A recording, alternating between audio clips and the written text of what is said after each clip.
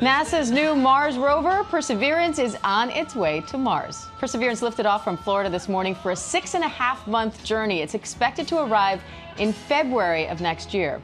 So, what are we hoping to learn from this mission? Retired astronaut Terry Virts joins me now. And Terry, my producer Molly and I were talking before the show about how Perseverance looks like WALL-E, which shows the extent of our space knowledge. So, we are really glad to have you here. It's good to be here, and it is a pretty cool looking rover for sure. It's cute.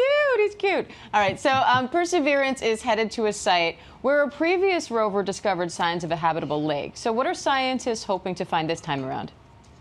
Yeah, it's landing in a dried up lake bed. Of course, we think it dried up about 4 billion years ago, so it's been a while since it had water. But one of the big goals of this mission is to see if Mars ever had life before. And so some of the instruments on the rover, and I think what's most exciting, a potential sample return mission where this rover will scoop up dirt and put it in a future mission to send it back to Earth. Those can answer the questions were there was there life, at least in this one Jezero Lake there on Mars. If we do discover signs of life on Mars, do we have any idea what that life might look like? Well, that's the interesting thing. You know, we tend to see everything in human centric um, terms when you watch Hollywood movies. The aliens always look like basically humans with you know big eyes or green skin or something. So we can look for what we know life is like here on Earth.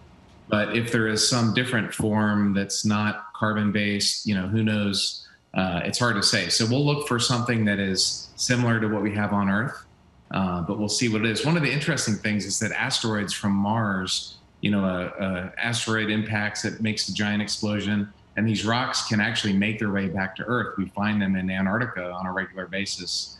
And there may be a similar thing where asteroids from Earth could go to Mars. So there is a little bit of transfer between planets, in, even in our solar system. So suddenly there are Martians very curious about people on Earth. Is that what you're saying? if they are, they're if they came from Earth or whatever, they're pretty durable because they got they had to survive an asteroid impact and then probably millions of years floating in deep space. So I don't know if anything can survive that, but it's a it's a theory, it's a possibility. And what do you see for the future of space exploration, given where we are right now? Yeah, it's been a rough. I mean, to say 2020 is has been a rough year is an understatement. In fact, the team at JPL, which is in California, that manages these uh, robotic missions, had an earthquake this morning. There was an earthquake in California. My uh, assistant called me and said, "Hey, it's it's there's an earthquake now." So, you know, pa- pandemic, these guys had to go through pandemic. They had to go through an earthquake to get the launch off.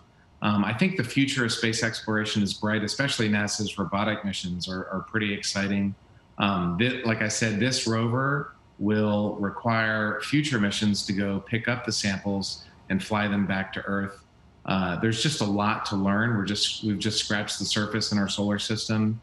Uh, we have another mission potentially to one of the moons of Jupiter um, that has frozen ice and frozen water. So there's a lot of exciting things to do out there.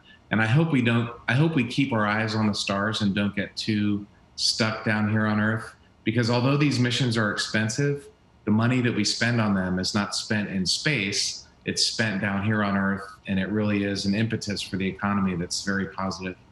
That's a great point. Former astronaut Terry Virts, thank you for all the learning you're doing and all the teaching you're doing for us. We appreciate it. Hi, everyone. George Stephanopoulos here. Thanks for checking out the ABC News YouTube channel. If you'd like to get more videos, show highlights, and watch live event coverage, click on the right over here to subscribe to our channel. And don't forget to download the ABC News app for breaking news alerts. Thanks for watching.